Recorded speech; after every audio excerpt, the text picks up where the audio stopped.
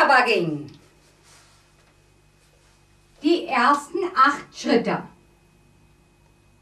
Zuerst ein Chassé nach rechts mit einem Rockback. Das heißt, den rechten Fuß zur Seite, den linken ran, den rechten Fuß zur Seite. Jetzt setzen wir den linken Fuß hinter den rechten, Gewichtswechsel und wieder zurück. Noch einmal. Eins und zwei, drei, vier.